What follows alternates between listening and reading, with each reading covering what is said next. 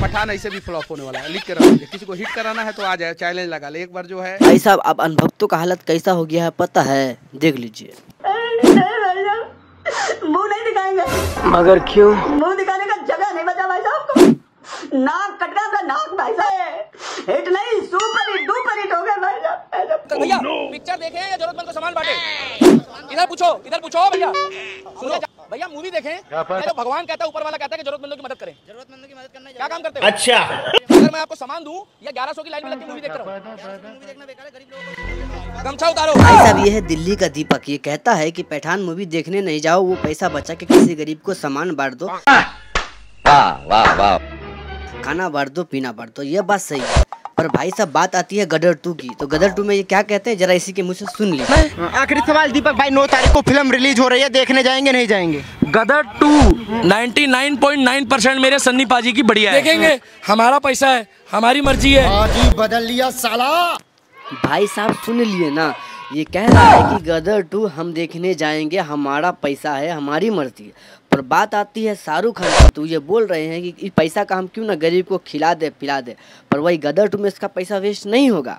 वो देखेंगे उसका पैसा है उसकी मर्ज़ी हमारा पैसा है हमारी मर्ज़ी है। ये आंट भक्त है जो चिल्ला रहे हैं।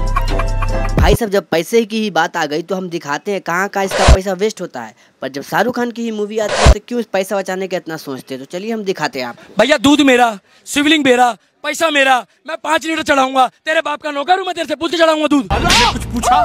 पूछा मैंने कुछ।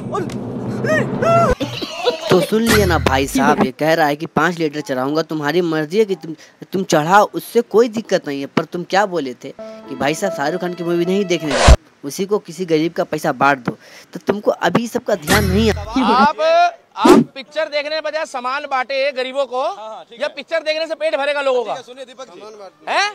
सामान बांट क्या? सामान बांटने वो अमीर आदमी है। करोड़ों रुपए कमा रहा है। उसके ऐसा कुछ नहीं ये पिटला का दिमाग सटिया गया है इसलिए ऐसी बात कर रहा है। ये जाएगा गदर टू देखने पर। शाहरुख खान की मूवी के टाइम इसका दिमाग खुल जाता है।